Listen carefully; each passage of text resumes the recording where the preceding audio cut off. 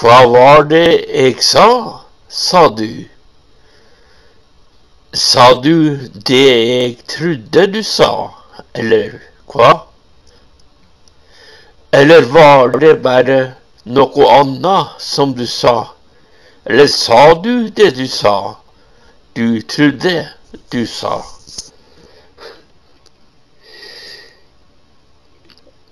Det du sa forstått som det du ville at jeg skulle forstå?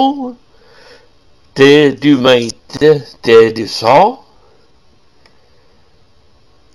Eller ble det du mente, bare noe som jeg mente, hva jeg trodde du sa til meg, men noe annet enn det du sa? Ikke lett å si.